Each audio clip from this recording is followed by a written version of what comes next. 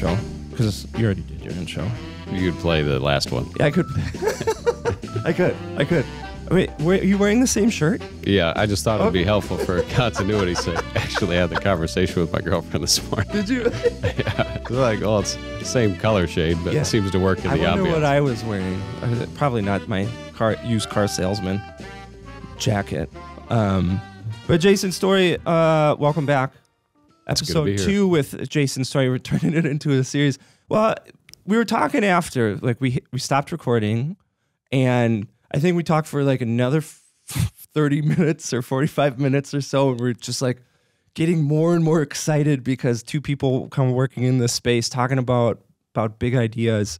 Um, and so after that, we just kind of said we we have to sit down again and explore this idea more about attraction and retention and what makes people stay and what makes them leave. And it's a conversation that's happening in Midland and in Bay and regionally in the state of Michigan, hiring a chief growth officer and really intentionally and aggressively spearheading this this idea. So we just wanted to meet up and talk shop a little bit. And one of the things that came out of our our messages back and forth after was this really brilliant way that you define attraction and retention because we use those two words and we just kind of assume that they're magical and they do things and you know that's that's all that needs to be said. But we were talking and you had the seven step or seven point definition that makes it even more specific and i thought it was just brilliant. And so that's what we're going to talk about today just just how brilliant you are. Oh, jeez. Well, no pressure, uh, but I'm super geek for the conversation. I can't wait to dig in. Yeah. So time to sound smart. Um, so you have in this seven point framework uh, done something. I'm going to preface it and then we're going to talk specifics.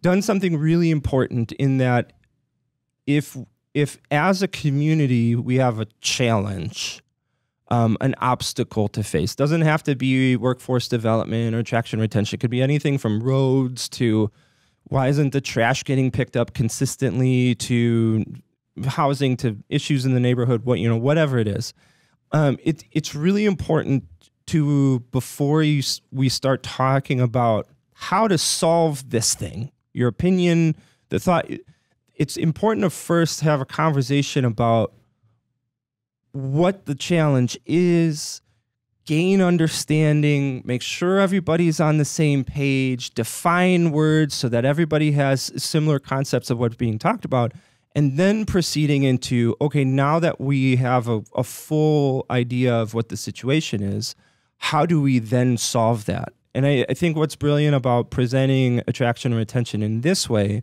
is that it's a step towards saying, when we say attraction and retention, w- what is really going on? Mhm. And if we talk about what is really going on in forming these ideas of do I stay here and f- build a life here or do I do it someplace else? Um, that informs so much the practice that happens after because you have a clear understanding. You're not just you're not just guessing anymore. You have a plan and you have a purpose based on the information that you have. So talk to me a little bit about how how this framework came about, how how you started kind of gnawing on this idea, and we'll jump into some specifics. Yeah, yeah. So the work's nested at the Midland Business Alliance and through the economic development lens. And one of the key dimensions there is, is people. So, you know, with the business in mind, certainly we're considering work factors of the workplace, uh, but we're also realizing that you got to make provision for what that looks like outside of work as you live in your community, live in your neighborhoods, you live with your friends and family. So, in taking a look at what we hear is the, you know, the, the, the popular topic is attraction and retention. So you want to break that into pieces and say, well, what are we really looking at here? And it, it makes sense that that's why we talk is because it talks about, well, where it starts and, and maybe where it ends. But so it starts with attraction. But there are things uh, in between those two spaces that dictate whether retention occurs. So what I've done in the work with the Midland Business Alliance is, is flesh that out so that we have a stronger uh, model because I think the model is going to infer the processes and the processes are going to influence the outcomes. You, you gave the example before we started recording. You had a conversation with Tony Stamas at, at the Midland Business Alliance. Like, we don't just walk around saying like, "Are you? How are you being retained today?" Well, I'm at like a 72 percent retention. Like, you don't go around defining it like that. You feel m- kind of mushy about it, or there's like nuance to it. Yeah, so we, we can think of that maybe in the workplace setting, and you can get objective facts on that is how many people ha- have been absent, or how many people have left the company, or how many people have we had to let go. But when we think about that in the community space, it starts to look a lot different. And certainly before those things, such as being absent or, or, or taken off uh, from a job or being asked to take off, there are things that occur. So when we think about the very beginning of this, even we talk about well attraction. It's like, well, what is that exactly? And to try to make it simple to understand as well, just thinking relationally is if you can get someone looking your way, uh, then that's attraction. They haven't decided on you yet; they're just looking at you. So we don't want to dispense or confuse attraction with uh, choice. Um, and HR specialists in the workplace will think about this all the time. Where it's it's easy to think about that at the community level is has somebody chosen you? Yeah. Um, to, yeah. you know, In in marketing, we would use the word like attention. mhm. If if you don't have somebody's attention, you, it doesn't matter what your message is, what your value is, anything, like- because to that person, you don't exist because their attention is somewhere else. The door isn't open. That you can't communicate anything to them, so you have to do something to capture their attention, and that's why branding is important. That's why people, uh, huge companies invest millions of dollars on ridiculous Old Spice commercials because they understand like the longer I have your attention, uh, the greater chance I have of you move moving you down this line to eventually becoming a customer. And this conversation, it's becoming a citizen or remaining a citizen. So that first of the seven steps is attract. Yeah, you got to get someone's attention to be able to attract. And what are you using to attract? You, you're demonstrating a value proposition in, in the workplace. You're doing that through a job description or showing the what the company has to offer. And at the community lens as well, what does the community have to offer? And people are looking for both of those things. You know, you're mm-hmm. talking earlier about maybe getting the kind of a word geek, and and I do think about you know some of the terms that we use and how important they are. So when we talk about work life, you know, I'm not such a big fan because it presumes that when I'm at work, I'm not alive. Yeah. And I don't even like to go in as far as saying, well, what about professional and personal? I'd say, well, work can be highly personal, and I'd say that in a workforce where people want to connect their their meaning and purpose and significance, that's definitely going to be a personal experience. So I like to think of work factors and non-work factors that go into people's decision making. You're probably going to mm-hmm. be able to get people's attention and attract them through both of those mechanisms because they're two things that people need. They need a place to be and they need a place to be able to add value and receive value. I think I think as you dive deeper into this definition of attract, something that you said is is so important to say because sometimes the conversation is like like what is the role of of marketing in this and what's the role of of actually like having value, having the jobs, having the quality of life, having the infrastructure that the educational system that people are are looking for, like those resources, like how do how do those interplay? And I think in this, as we define attraction, is you you, you have to have both of them. It uh, y- you'll never you'll never be successful over communicating a value that doesn't exist. Like, you can't pretend like you're a community that you're not. You're like you are what you are. Um, you can amplify the best you have to offer, and that's something that we do all the time. We do it as people. Um, we were talking before, like the the example of going out on a date, uh, first date. You know, you get the haircut, you put on your favorite shirt and your pants, and you you put your best foot forward. You go on that date and you talk about things that you love, and you, you try to be charming, and you Yeah, know yeah. you- you're you're tr- you're putting your best self forward. That's not being dishonest, um, but it's what we do as humans. Doesn't mean that you don't also go to therapy. You got to also be working on those challenges and get wor- like becoming better intrinsically better. But you can amplify the best you have to offer by also dealing with other things. And I think that's the role of marketing is is saying um, this is who we are. This is the best we have to offer. At the same time, those resources have to be real, and then we also have to say education is really important to a lot of people. How can we make that better? Um, we need more jobs. How can we get more jobs? We need to attract more businesses, both large and small here. How can we do that better? We can be doing that at the same time, be communicating the best we have to offer, and also be communicating the fact that as a community, we're addressing those challenges. Because I think we have this impression that people want to be a part of a community that's perfect. But I think more attractive is uh, a community with potential. Yeah, that we can participate in making better. Yes, I, I have ownership in it. I, I look around and I see a community acting like a community because they're like, hey guys, we have to fix this. And the only way it's going to work is if we do it together. And immediately the best humans are like, oh, tell me more. because that says, like, this is a community that is going somewhere. I'm not looking for the perfect community that checks all my boxes, but this is a- an interesting community, a community that acts as a unit. And it, marketing can be uh, uh, aspirational as well. We can amplify the best we have to offer and then communicates to us as a community like, guys, this is the bar that we have set for us. That means that anything less than this is unacceptable. And that means that we have to dive into an issue together. I think that's attractive. Yeah, it's it's this combination of what you can provide and what you can re- receive, and Yeah. in that metaphor that we're using is is that's what's kind of happening is some encouragements or some promises, whether they're direct or indirect, and if you do all those right, then you might just be so lucky to you know in the HR practices acquisition or you, you acquire. Okay, I've made the decision. Uh, I'm choosing you. Yeah. Tell me more is the next next part. So you have step one, attract. Kind of step number two is acquire. Now they've decided to talk. Talk to me about kind of this this stage of the psychology of attraction retention. Yeah, it's like, well, uh, I'm looking your way or this way, but I still need to make the decision. So, and that that's usually comes through a, um, a dialogue or a, a display of of intentions. Um, in the workplace, that might be a job description or, or providing a sense of what your compensation package looks like. For the employer, that's talking about expectations and what they need and what they would like in reverse. I think in the community, it's a call to here's what we need help with, or here's a way you can get involved to, to take us further and to preserve what we have. And it's a little bit like that that quote. It's not what uh, it's not what your country can do from you uh, for you. It's what you can do for your country. It's it's that's the right way to think about it. And I think that that's what provides people with a sense of calling to help inform that decision. Is is that they want to be able to see a synchrony between those two things. Is I see that I could be valued and I see that I could provide value.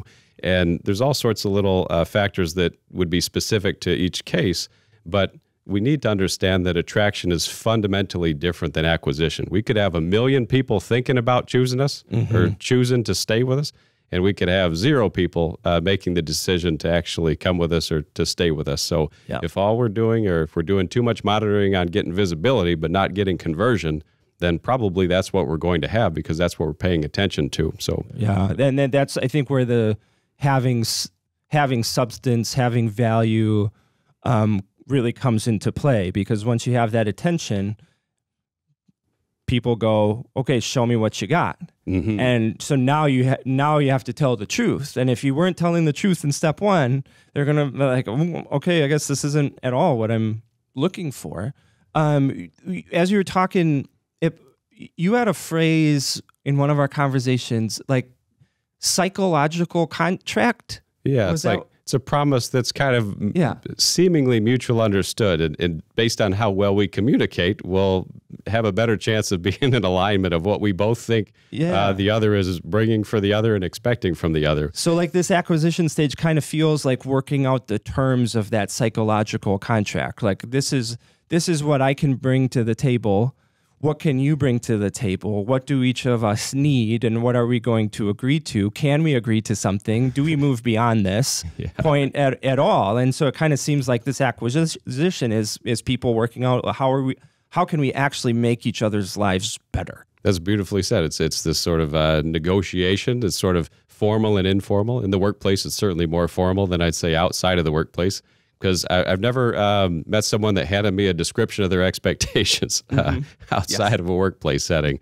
But it's also, but in between that, during the interview process or a panel, you're having these conversations, and and promises are being made or intentions are being made, um, and it's through those the demonstration of those intentions and promises that, that people on both parties or multiple parties make that that choice to say, okay, well, we're not just looking this way; we're actually going to choose this way. Yeah, uh, you, you use the example of of kind of an employee employer situation, saying like, well, how are we going to meet each other's needs? And I think that's such a great example because um, in attraction and retention, employers and how they interact with potential employees and their employees are are it's such a critical part of this, you know, because you can attract a hundred thousand people a day to your community, and if every time they put in an application, they're getting ghosted, they're mm-hmm, not being treated mm-hmm. well, they're going through 17 rounds of an interview that takes four months to do, and then at the end they're like, eh, "Yeah, we can give you 12 grand a year. Are you cool with that?" Um, it, it, it, there's no acquisition taking place. I love what you're saying. Is is in the the organizational development speak? It's the employee organization relationship. Yeah. And and that you can extend that to to think about the the person or the uh, community relationship. Those those things are a little bit different, but they're not entirely different. It's this ongoing process of being able to um, provide value, receive value, and having a continuous sort of set of uh, fulfillment of promises and setting continued expectations and opportunities yeah. uh, that help um, foster that. So that critical decision to even be able to get to that point as well. Are they going to make the decision to commit to you or commit to that relationship in the first place? Mm-hmm. Um, so through attraction, in and of itself, we actually don't have that commitment occurring. It's through the acquisition phase uh, where that commitment is occurring, and it allows us to proceed. Uh, yeah, I, I also want to point out an example, I think, of this acquisition phase um, in like a more informal setting. So, like uh, tourism kind of plays hand in hand with this idea of attraction and retention. How can we bring people who don't, who may have never been here before, to come here and have a great experience? Um, so, like tourists walking through a, a a community, or maybe they're there for a wedding or something like that, and they're like, "Oh, we got three hours to kill. Let's walk around downtown." Um, I think this acquisition phase happens at this informal level in situations like that because they walk through the downtown, and what do they see? Do they see um, public art? Do they see a beautiful community? Do they see people hanging out, walking around? Do they see um, a, a dense uh, downtown with every storefront filled, or do they see dirt and garbage and trash and vacant buildings and broken windows and all of those other places? That's that's the unspoken contract that's being written in that this is who we are as a community. Look, we really care about ourselves and we care about and we love ourselves so much and have so much pride in our community that we're willing to take care of it pick up trash, make it look good, all of these things. Or we don't really love ourselves all that much. We don't care all of yeah. that much, you know, take it or leave it. That we're un, unknowingly or unspokenly writing this contract, this, this terms of agreement. And people walk into the downtown, they say, okay, that's for me. Like this is exactly what I want. Or yeah, I'm not I'm not gonna agree to those terms because this isn't the kind of place I want to live in. Well, it works perfectly back to that idea, that metaphor, going on a date. It's like, yes. man, you could even put yourself together and get cleaned up here. You got to take care yes. of yourself. Yeah. Uh, you know, what's that going to mean for me? Yeah. Um, this idea of, of putting your best foot forward, putting yourself together, uh, showing that um, you, you have the value within yourself to then be able to provide some value. Yes. Yes. I love it. So, step one, attract. Step two, acquire. Step three, integrate. Tell me about this one. Yeah, and we, we might think of that in terms of like initiating or onboarding or, or welcoming. So it's okay. Okay, I've made the choice. We can all, I think, relate to the idea of what it's like to be on the first day of the job. Mm-hmm. Um, and if you've been like me, you've had some great uh, examples of that. You've had some not so great examples yep. of that, where you might be in an elevator with someone. Uh, you know that they've worked there for a while because it's your first day. Yeah. And they weren't in orientation with you. Uh, but they're not saying hello. Uh, they're not saying their name. They're not even looking at you. Or maybe you don't know where the restroom is. Uh, you don't know uh, where to go get the supplies that you need. You don't know the names of the people that are uh, all around you. Um, and we just think about, well, what does that initial steps of engagement look like? Because that's your first opportunity to show that you're going to live up to some of those promises that you've made. And this is the first moments where you're demonstrating some of the culture. We can think about that in the workplace, like I was saying, some of those examples, but you can think about that in the community as well. Uh, did somebody hold that door open for you? Uh, did somebody look you in the eyes and, and say hello, or maybe even just give a bit of a smile? Mm-hmm. You're really looking for that match between uh, stated intentions or your expectations or what you're anticipating, and then getting that true sense of being welcomed uh, and getting a true sense of how you can start to participate. I think a little bit too about maybe the playground where uh, there's a bunch of kids already playing tag or, or, some sort of game that they're making up, and some new kid arrives to the to the table. They've showed up. They're kind of on the the outside, the periphery. They're kind of standing there. They're doing their part. They're trying to kind of copy what they see happening. But if all those kids are not paying one bit of attention to welcoming this new kid uh, into the play, or if they're making it intentionally difficult for that person to feel like they're wanted, yes, chances are that they're not going to play as good as they could. If not, just leave the playground entirely, or maybe in an adult sense, make a plan for leaving the playground because things aren't so easy uh, in yep. adulthood as they are in childhood. The the timing of it uh, also so important. Yeah. Like you can't you can't w- wait six months or a year to finally warm up to that employee. Like now you're one of us. You've been here for 12 months.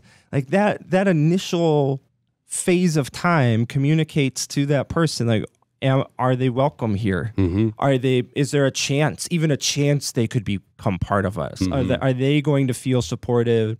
Are they going to feel like they can bring something of value, receive something of value in that moment? And if you don't if you don't do it then, can you overcome that later on? Maybe. Chances are very low because the, you they've sat in months and months, maybe years of just like people don't like me here. I'm not I'm not worthy. I'm not worth enough. I'm not good enough. At like and then you start I need to go someplace else where I, I don't feel this way all because the t- that phase of time that greeting period, that integrating period was missed. You can't yeah. you can't play catch up down the road. It's all sorts of stressful because, like you said, you're trying to figure it out. If it's not going the way that you thought it would, yeah. or as the way that it was stated, you're like, well, what changes? Is there something I'm not doing? Is there something they're not doing? Is is uh, you know something wrong? You're, you're trying to figure out what's wrong in order to try to make it right. Yeah. But as the newcomer, uh, you don't have as much of that information on how to acquiesce or how to get familiarized and how to get welcomed. You're not quite sure what it is, especially if you're having, like in the workplace setting where you're having an interview or a job panel, your, your attention's all on you. Mm-hmm. But then if that same uh, group or same individuals walk right by you later and don't give you, you know, the time of day whatsoever, then you're like, oh, I see. Maybe that was a bit more of a transactional thing, or yes. it was just kind of to try to get me to say yes. But as a person, or to try to actually see to it that I'm feeling welcomed, and also I'm equipped to do a good job. Uh, that's not so important as it was during that initial discussion when we were talking about acquiring. Yeah, if you talk about it in like sociological terms, like you, whether you're the employer or the immediate community or the neighborhood or the region, um, you have to be the one welcoming in those people it doesn't it, it it's not never going to work the other way you like well you're you're here now cool see ya neglect yeah. or you know or you, the new person in the neighborhood is baking brownies for all of their new neighbors mm-hmm. like is that nice yeah should it work that way no it shouldn't like those new neighbors have to come to that new house and say Welcome to the community. My name is Darlene. I can bake you spaghetti on Friday so you don't have to. Like now that's a person saying i am being welcomed in by this community by these these strangers and that creates this this bond of trust if you if you talk about like trust in terms of a community community moves at the speed of trust nothing mm-hmm. can happen that's without good. trust if if you have a low amount of trust you have a low amount of momentum engagement resources support sustained effort over time because nobody trusts that this is actually going to happen, that change is actually going to be made, that they're going to receive some kind of value or provide some kind of value. But if you have a high level of trust, like that's the gasoline on the fire. Now I can trust you, Jason Story, to support me when I need it. I can support you when you need it. and now we can make things happen because we have this bond of trust and i think at this integration level like from a marketing standpoint from a community standpoint like this is the trust creation. Like okay you've got my attention attracted me. You've acquired me. I'm here. yeah i'm here because we've agreed on the terms. Now integration says you have to communicate we have to communicate to each other that we will actually provide what we said we would. Yeah, and it, uh, about American leaders, it seems like this morning, but I think uh, Ben Franklin got this really good. He said one of the first things that you do if someone new moves into your community is you ask them for a favor, yes because that allows you to introduce yourself. It also it opens an invitation that they can ask you for a favor. yes And I like what you're saying about thinking about that at the the uh, community level is opening the invitation to start the cycle for exchange. Oh, I love that. Mm-hmm. Because w- if you want to talk about what a community is, at the heart of it, it it's an exchange. Yeah, transformations and exchanges, and, and that's kind of how I think is like you're trying to exchange to make things better. Yes. you know, not hopefully not make them the same or worse. Sometimes you can't help that, but you're at least doing what you can. So it's like, well, why would Yeah. the exchange occur in the first place? Well, you're Right. trying to make a transformation that improves the human condition, and that's really lofty speak for just saying, make a good day of it Yeah. For the people around us. Yeah, and it, it's this constant push and pull of a community. Like I, I go to a job and I put in work, Yep. and they give me money, and then I take that money and I give it to my family to support my family, and then my family goes out into the community and we go out to dinner. Um, I teachers are, are working and they earn a living and they in turn support my children. Um, in Saginaw, a woman's house uh, was just hit, hit by a car. Her car drove right into this house, destroyed this house, half of it. Um, and she unfortunately couldn't, didn't have the ability to carry home insurance. hmm Um, so what do you do? Like this woman now is effectively homeless. Um, well, what did the community do? bunch of local contractors said, "We will fix your house," and they're co- constantly on Facebook saying, "Hey, um, can anybody bring this? Bring this? Can you donate a dumpster? We need three guys for this." You know, all of these things, and they are rebuilding her house for free. Like that's the exchange of a community that when I need something, this community around me will be able to meet that need in some way. And I think like at the heart of this integration level, that's that's what we have to do if we want this attraction retention. We have to be faithful to our promises to each other to say we trust each other enough um, to provide what we are promising to these people who are coming into this community so that we can say we we will make good on this agreement that we have made.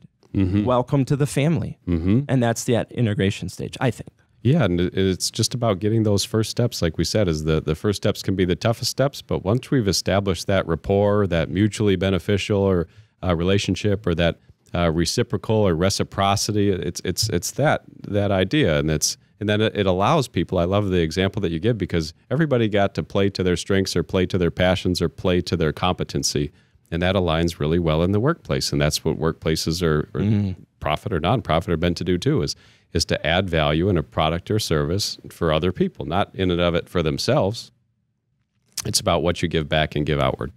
amen so attract number one acquire number two integrate number three train tell me Yeah. about this Well, certainly in the workplace, you know, it's what does success look like against that job description that I got? Um, it- it's about 37 things. Maybe it's two pages. Yeah. Uh, it, it, this week, what needs to occur and how, how, how will I know and how will you know that I did everything that's listed here Yeah. uh, to standard and to expectation so that uh, the person that's uh, managed me or supervising me uh, knows it and I know it and that we can be in alignment.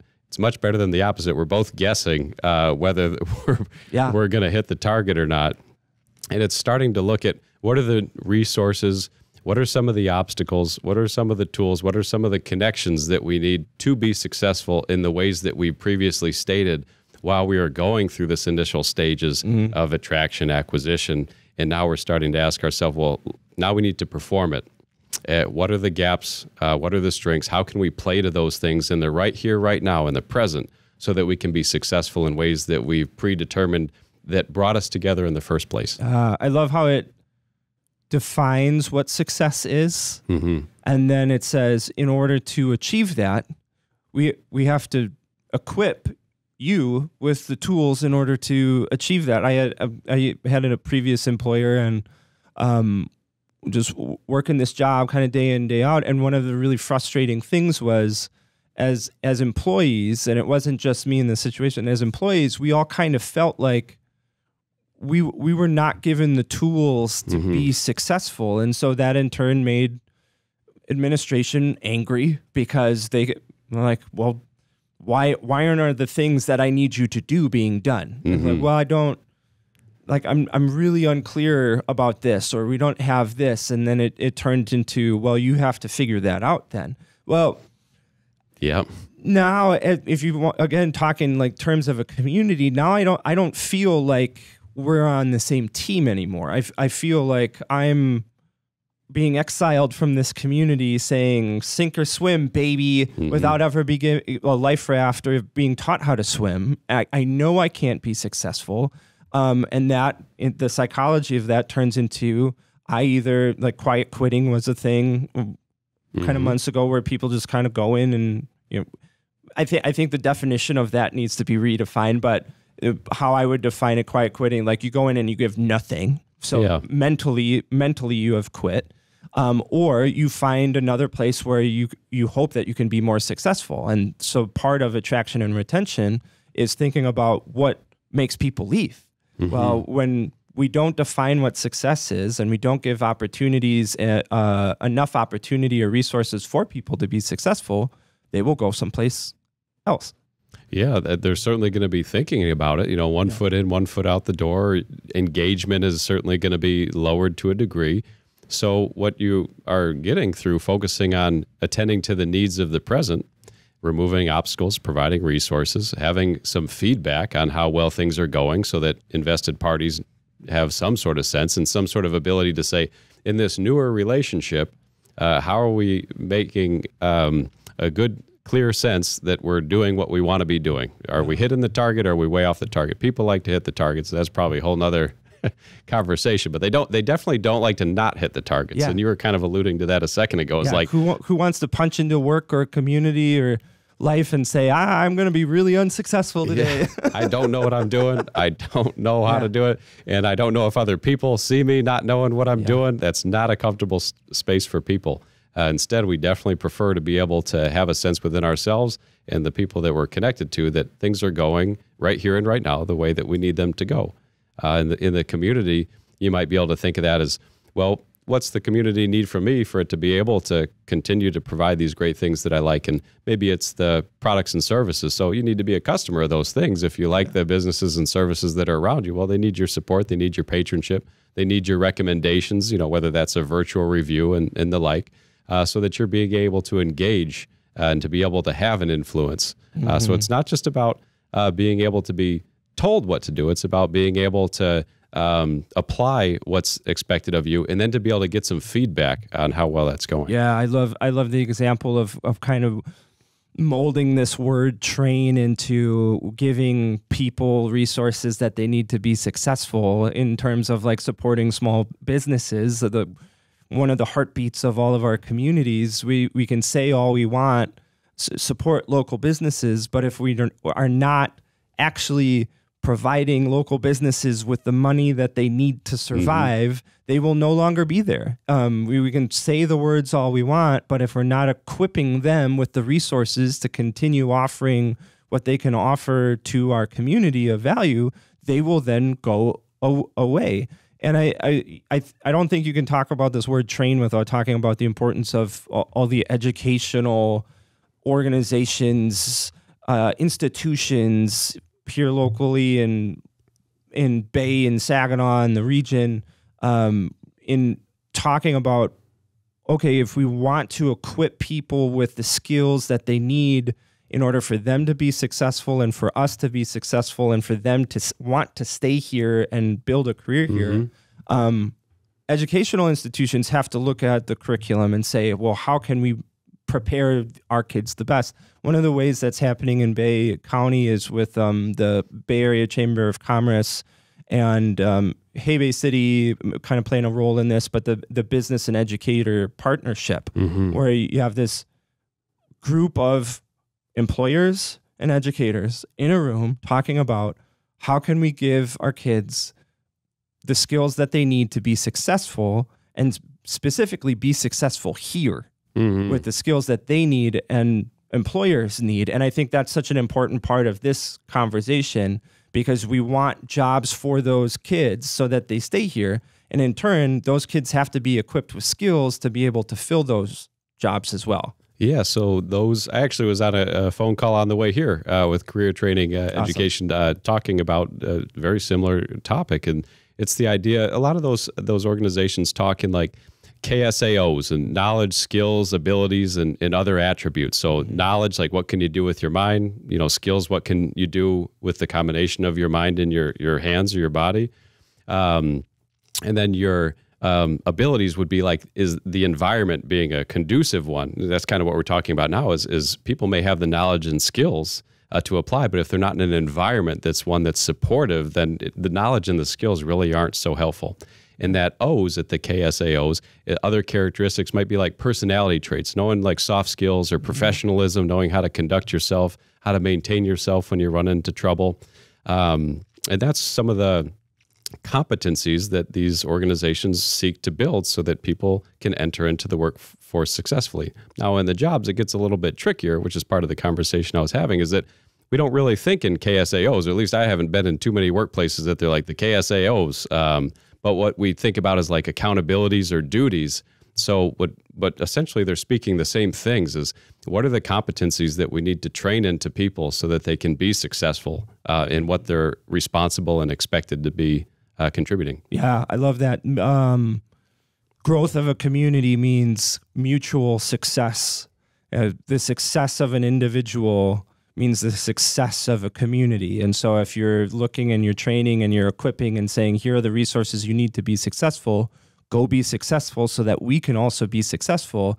That's again the exchange. Yeah. It's like we will provide you with the tools, with the resources. You provide me with what you can do with those tools and resources, mm-hmm. and we build on each other. Yeah, it's it's kind of a chicken or the egg thing. It's like, does do people like competency or oppor- opportunities to display competency mm. because we need them uh, to be, or do we need competency in order to be successful? But I think all that really matters is that people really want and need opportunities and environments to provide competency. Yeah, absolutely. So attract, acquire, integrate, train. We're equipping people. We're exchanging resources that we need to be successful. What's next? we got to develop. It's like, well, what the heck's the difference between training and development? Well, I'll say it's training takes care of the present, development is thinking about the future.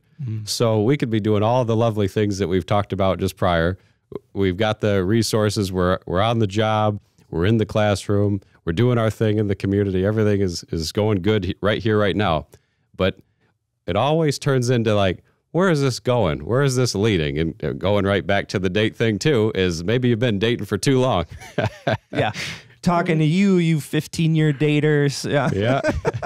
hey, I, I want to know what this is leading to. And there's really no escaping that. Not to make this a big psychology conversation. No, but, I love it. But Yeah. we're conscious uh, beings and we're thinking about right here and right now. But we want to make sure that where things are going is going to be uh, good too. Yeah. Or at least as good as we can make them. So, and, and things change, environments change, people change. We were talking about that a little bit Yep. as well about how your wants and needs or values have shifted over time. So even if we arrive at this state where the present is being taken care of masterfully, uh, those variables are going to shift. So we need to be thinking about uh, well, what are the needs? Maybe going back to that idea of competencies or knowledge and skills, and abilities. What are those of the future? And what are we doing to lay a ground for the direction of what's needed when it comes to people uh, to be able to be successful, to continue uh, to be effective, to be able to continue to grow? In the workplace, a lot of people want to know like, is this a job or a career? Uh, what can I do to enlarge my job? What can I do? uh, to enrich my job? What extra responsibilities can I take on? Maybe it's some of the monetary rewards like compensation. Is what is uh, what does that look like over a five year period? Maybe uh, non monetary might be well, what's the recognition or influence or the ability to contribute? Mm-hmm. But people want promotions because they want to know that things are going somewhere that's beneficial or prosperous. They want to feel like their efforts are being valued in the present but we can't just be thinking about training in the present. We have to think about what that's in service of, and that's leading to a, a beneficial future. It this is just like like monetary investments. Like you you're you're you're constantly putting money away so that mm-hmm. it, it, it it grows over time yeah. so that that you you know that down the road that life, that future me is going to be supported in some way. My needs are going to be met because I, I'm giving these investments over time. And you're, you're in these terms and your time and your energy and your effort, like those are also investments. We don't typically define it like that as like mm-hmm. I go to work yes. and I do work or I, I participate and I engage with the community. But what, what that really is is is I'm I'm saying I am sacrificing something mm-hmm. for this, for you to be successful. And what is that going to get me down the road? Yes, it's going to get me this paycheck right now, but where is this heading? Where is it yep. leading? Like, is this it? Or is there more? And depending on what that agreement was in that acquisition stage, you both might be cool with like this is it. Mm-hmm. Like all I want is this job. I don't want a career. I don't want to, I don't want to move up through the organization. Yeah. Like I don't want to end up being city manager and running the show. Like all I want to do is this. Cool. If both parties have agreed to that, you win. Success. But if if the agreement kind of felt like, oh, this is going to lead to more, but I'm not really seeing more, mm-hmm. um, it's not really developing into something that leads to disengagement. Now, now I've removed myself mentally or physically from the situation because m- my value is this has to grow. It has to lead to something more. I'm uh, my my family is growing. Mm-hmm. Um, my career aspirations are more than just this. Mm-hmm. Um, I I know I have more value to provide, and I want to have an opportunity to provide that. And if you don't have that to somebody who has that value, you feel claustrophobic. Like all of a sudden, it feels like I am in this tiny little room and there's no way out, and I need to figure out a way because like this can't be it. Like I can't live here forever. Yeah, and it's that idea of I, I know that I'm going to, and the people around me are going to need things in the future. Yes. I, I, I, I have to take care of my present needs, but I know that there's going to be future needs, but I don't know exactly what they are as clearly as I know what my current needs are. Mm-hmm. And I like that you're using that investment um, metaphor because you hear that all the time is what is this amounting to? Or what's it all going to add up to? Um, going back to that geekiness on languages is well, we're using those terms for a reason. And I liked what you said too about stability versus change. As well, some people or some situations, circumstances may prefer more stability. We're going to do it this way for a long period of time. Mm-hmm. And other situations require or prefer a more frequent change. Mm-hmm. And it's funny that change is also tucked in there as well. So it is, like you said, this continuation of dialogue to be able to make sure that there's a good fit uh, between related parties. I don't want to just say employer and employee. These things work, like you're saying, in the community lens as well. Mm-hmm. But it is this continuation of looking at the fit. Yeah, it's um, it it development. I think is is kind of a mutual acknowledgement that says you are important enough to me and to us to say we are going to do everything we can that you continue being a part of us for the long term. And I, what I love about how you frame these these steps, and we have two more to go, is that it really follows this transition from attraction to mm-hmm. the deep parts of retention. And we you have to acknowledge both of those. Sometimes when these conversations start, a community says, "We our, our population is declining. We have to attract more people mm-hmm. from outside of us. Yes, that is true. But if you don't acknowledge the needs of the people who are already here, which in a lot of ways takes way less investment, um, is easier to create change with and improvements with because like they are here they're already here all we have to do is make it a little bit better yes yes and, and, you'll encourage them to stay and uh, that's what i love about this it really says attraction and retention is the is a process that everybody's at kind of a different stage of mm-hmm. and in order to to retain that person we have to meet them at the stage that they're at mm-hmm. um, if if we're saying well we're gonna sustain you and like but they haven't been given the tools or the resources to be successful we're we're here and they're there. Yes. we're, we're not talking we're not meeting them where they're at. And that's what i love about this is you're meeting people where they're at. Absolutely. And, and retention is a is a um, an ends. It's not a means. And, and attractions isn't a, a means either. Mm-hmm. um, what we have to take a look at is well what what makes retention occur? And it's actually these things that we've been talking about. It's uh, everything in between that allows people to be able to be uh, negotiating and living through some of the promises that have been made yeah. and opportunities for growth and mastery, connectedness, purpose, significance, a positive culture, safety, security. And those things dictate retention. But if we're just looking for the answers within the idea of retention, I think we come up a little bit more short than what we need to to be able to actually nurture this super critical step because we don't want to have uh, 100,000 people in and 100,000 people out. But if you have to ask yourself, well, why are the 100,000 people are, are out?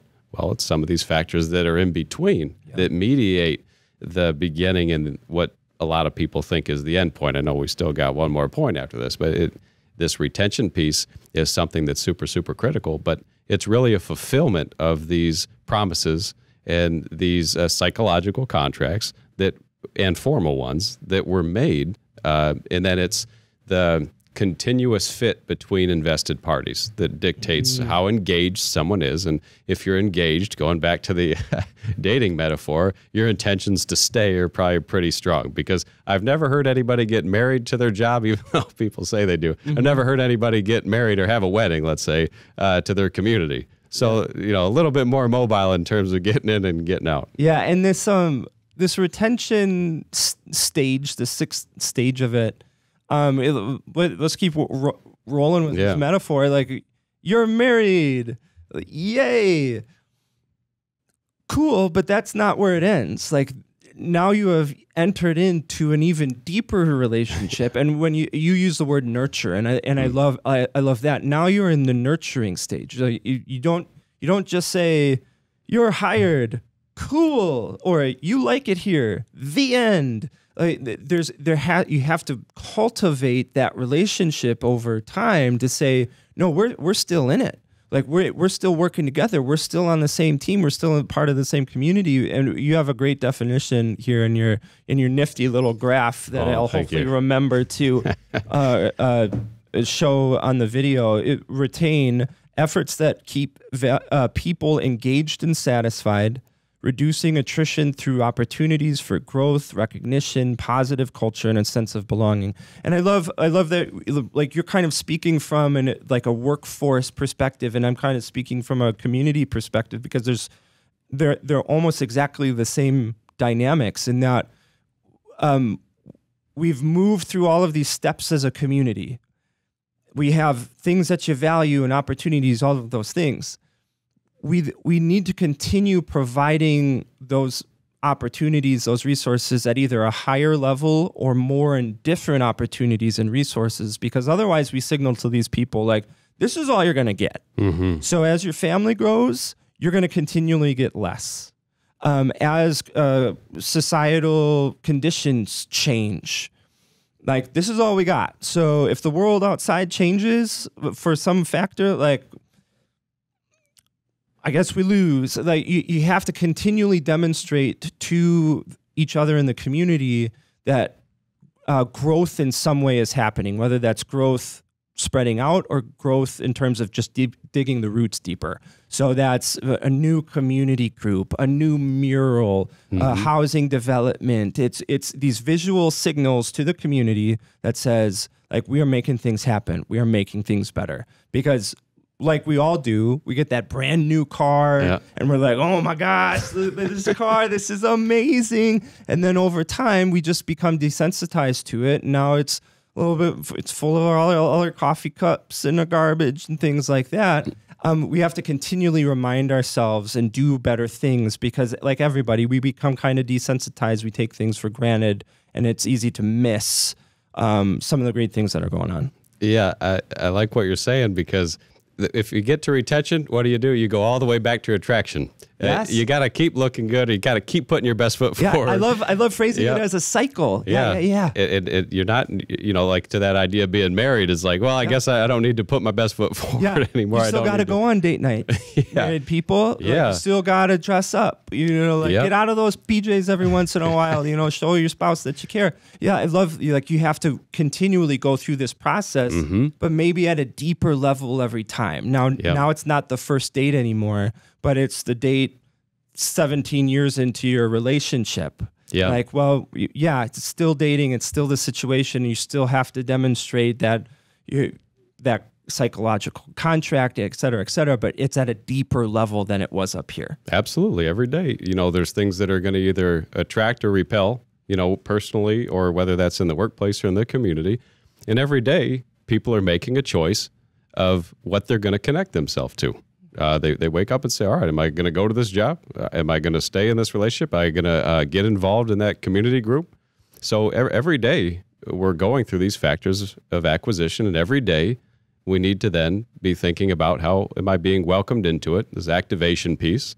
And then every day we need to say, do I have what I need to be successful today? And I want to have a sense that that's connected to where this is going. And if all that goes great, or the better that that goes, the better the chances for retention.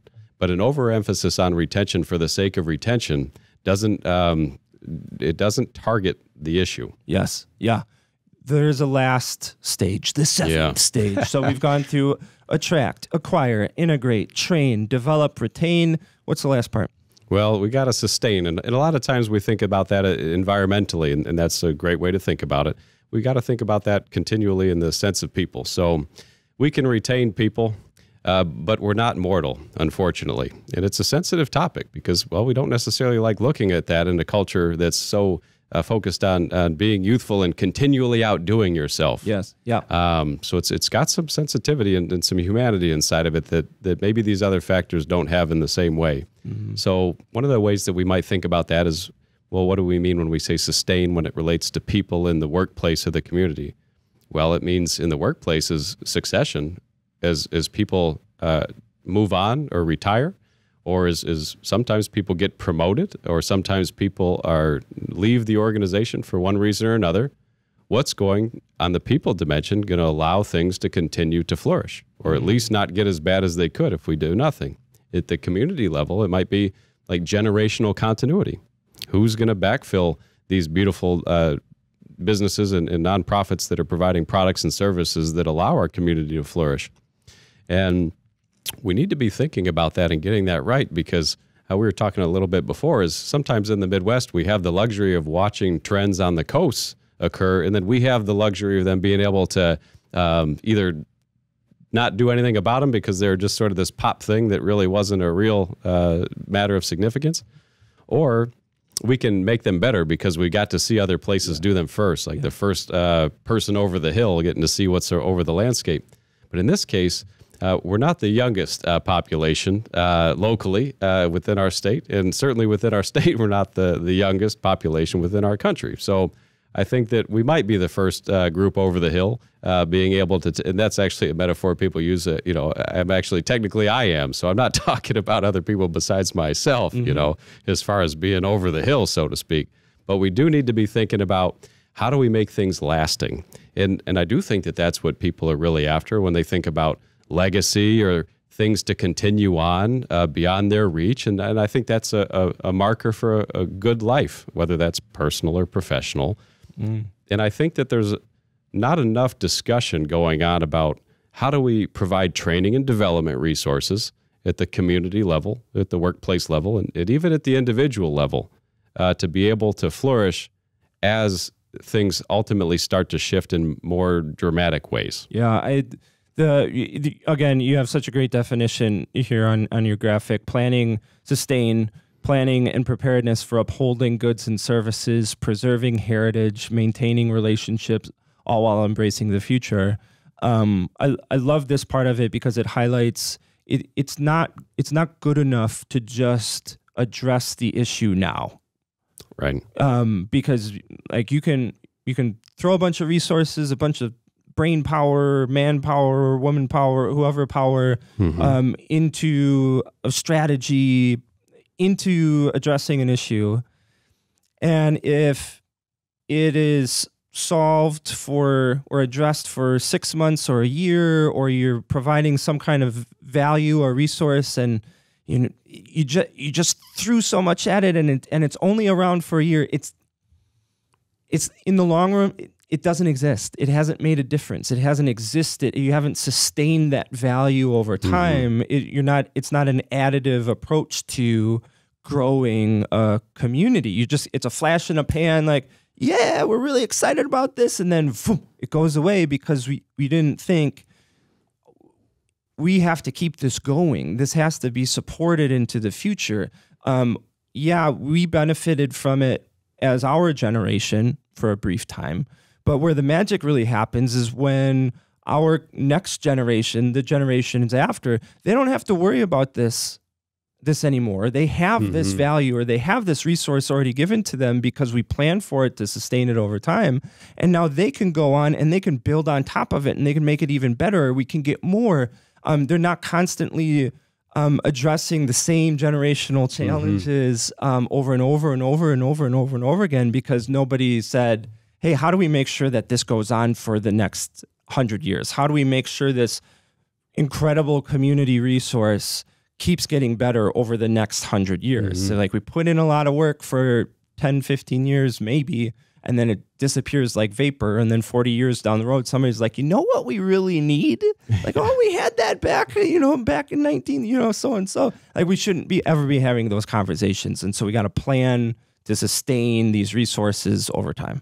Yeah, as, as I think of that idea of leave things better than you found them. My brother likes to say a, a saying about his children that that my uh, ceiling is their floor, or maybe thinking of the idea of verticality is you want to send the elevator back down. Is, is what are we doing to create provision for opportunities for the people that we can nurture and mentor and support uh, that ultimately are going to inherit for better or for worse uh, what it is that we've built and what we've what we've built is obviously what we value. Otherwise, we wouldn't have built it in the first place. Uh, so that it can continue and it can uh, thrive beyond, and and that's that's that becomes challenging uh, because it allows it sort of makes it an existential thing. We have to look within, and, and Yeah. it's not necessarily the most fun thing to do. Uh, it's much more fun to bake, figure out how we can outdo ourselves and reach a new peak. And that's in every single commercial, at least that I see. Maybe the algorithms targeted me. Um, and this probably will get cut. But uh, the first time I noticed this was in the movie Logan. And it's a superhero, Wolverine. Maybe people are familiar because of the new Wolverine uh, Deadpool movie. And this superhero Wolverine was was kind of at the elder stages. He was kind of past his his prime. You know, one of his superpowers is he could make these claws come out of his hands, and they weren't coming out so great. He had to like pull them out, and it was really painful. He could still do the thing, but not as good as he had done it before.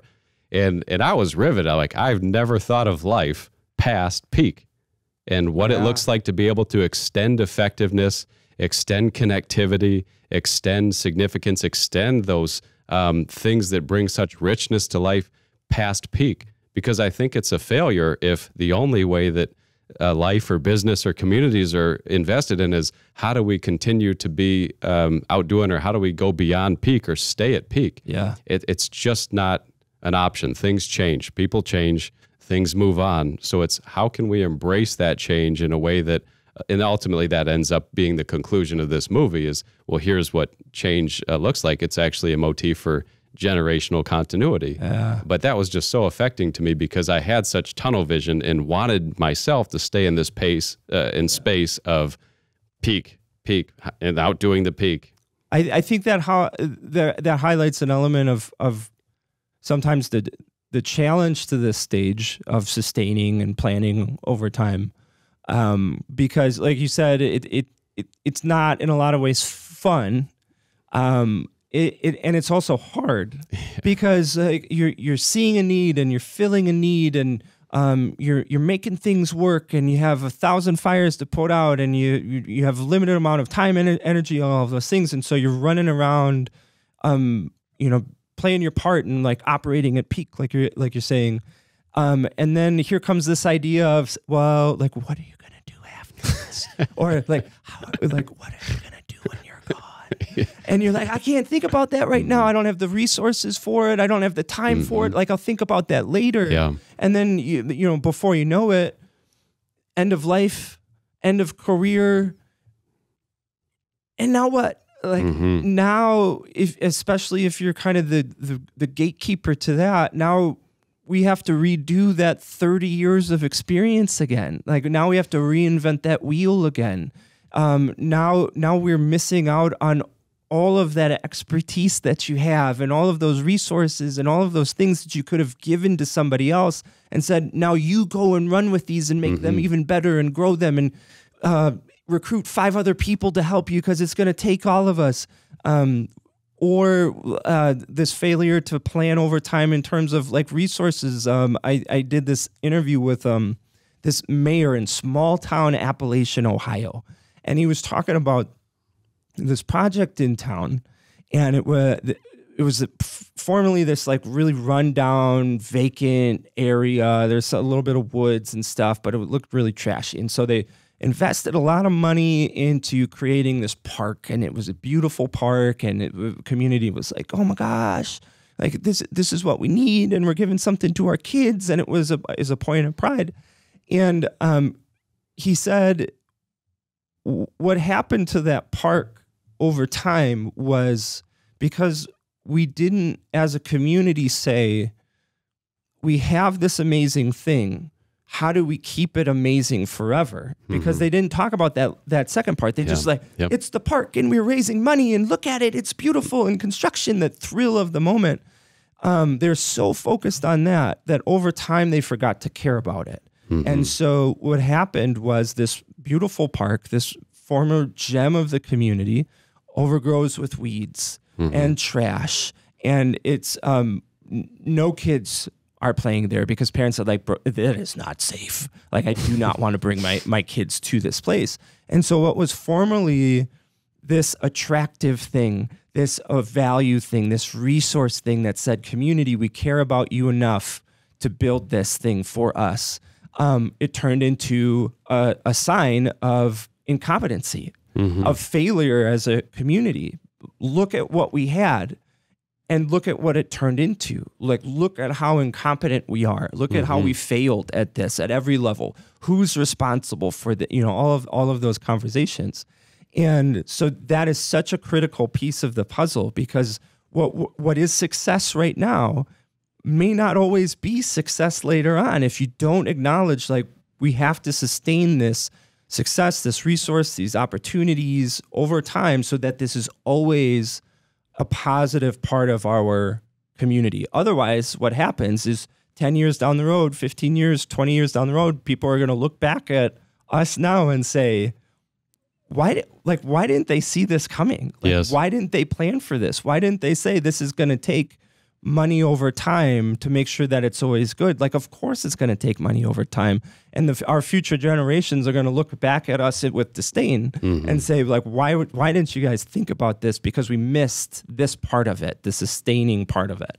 Yeah, we have an obligation to ourselves and the people around us right now.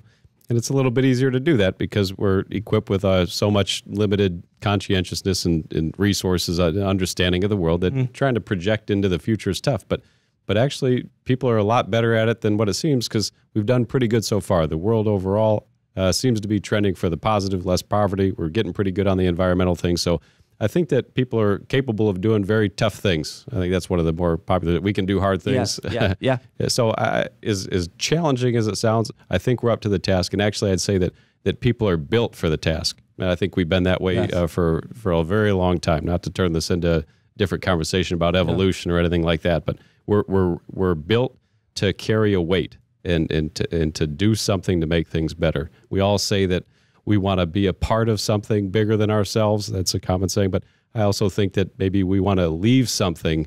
Um, that's within something that's bigger than ourselves. Yeah, I, I what I love about this this further definition of attraction and retention that you have in this seven part framework is that one, it highlights the the challenge that is this.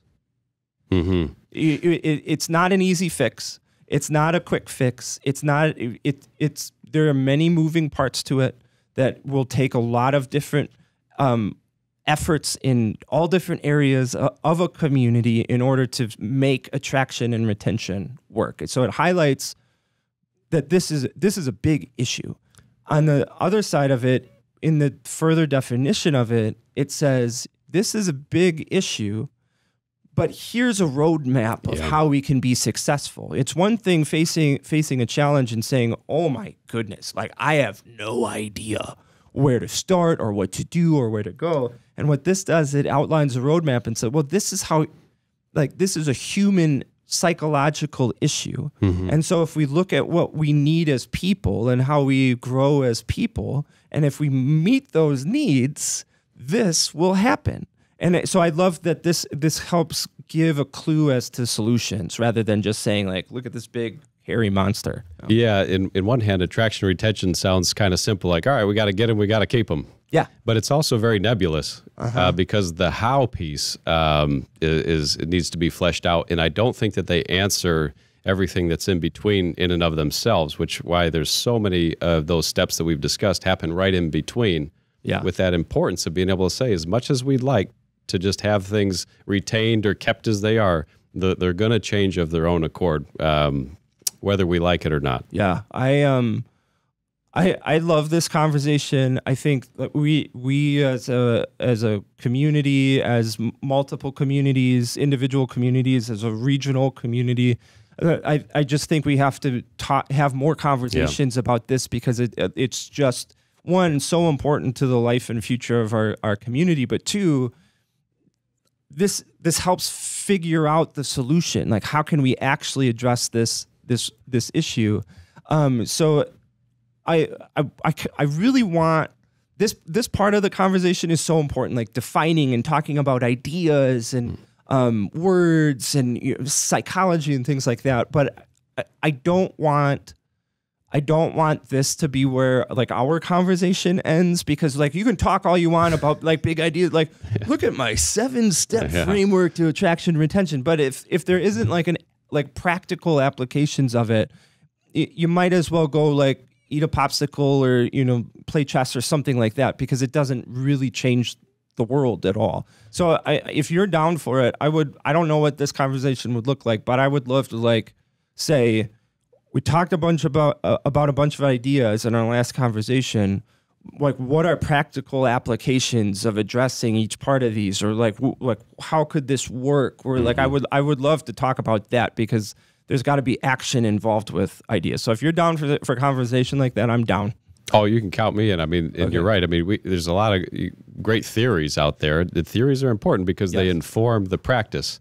And then to get you know into the academic speech is that praxis would be the the the union of those things. Is Yeah. let's combine the theory with the practice because what we don't want to have is a bunch of practice that isn't guided by any sound theory. Right. And you don't want to, like you said, just have a bunch of theory that you're like, this really could work Yes. if we did anything, but Yeah. we got to do something. Yeah, I yeah I yeah, I'd love to have that conversation with you. Like explore this idea more, and m- people, if you're listening to this and you are also exploring this idea more, explore with us. Talk to people that you know. Right come up with your own seven step plan, and or pick apart Jason seven step part. Like I think number four is hooey. Like or you're, you're overcomplicated. Like please, like we we need to talk about all Yeah. of this um, because we lose when we don't. We lose when we stop talking about it. We lose when we say. Um, we lose when we only talk about it and don't do anything about it, or when you when you're doing something about it, but you're not doing something continually better about it and becoming more informed. So, man, I, Jason, I want to thank you for the work that you're doing over in Midland, for it giving me an hour and nine minutes to be able to talk shop with somebody Hey. about this. It's super, super cool. Um, let, let's talk about what that next conversation will look like. Let's see, rope more people in. Maybe I can get Hilary Doe from Michigan on on like one of these little episodes and get her conversation in. It would be super super cool. So Uh, Jason Story, thanks so much for the time, man. Uh, we, of course, will be talking again soon.